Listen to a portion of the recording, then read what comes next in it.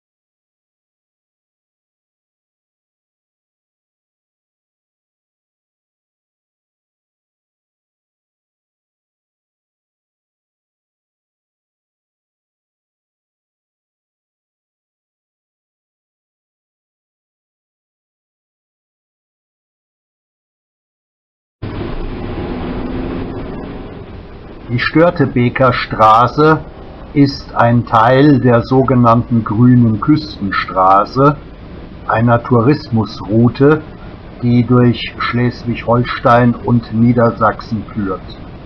Die Störtebeker Straße führt von der Wesermündung über Wilhelmshaven, Emden, Norden und Leer an der Küste entlang. Wir befahren hier die Strecke ab Neuharlingersiel. Wir passieren die Sielhäfen, von denen regelmäßig täglich ein Fährverkehr zu den ostfriesischen Inseln stattfindet